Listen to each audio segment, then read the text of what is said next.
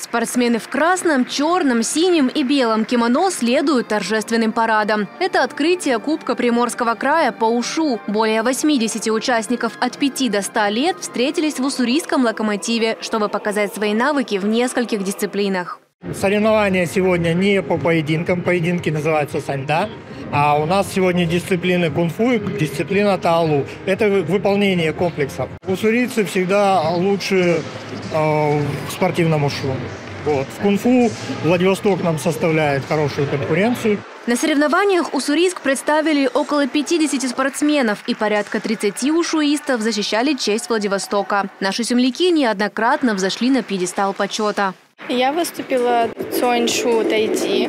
Я заняла третье место. Соперники, конечно, были трудные, но я смогла это сделать и преодолеть. По кулакам у меня первое место, по мячу третье.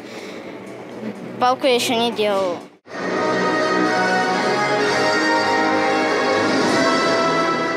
Соревновательную программу дополнили показательные выступления от сборной Приморского края по УШУ, большую часть которой составляют уссурийцы. Турнир в «Локомотиве» завершающий в году, но это с какой стороны посмотреть.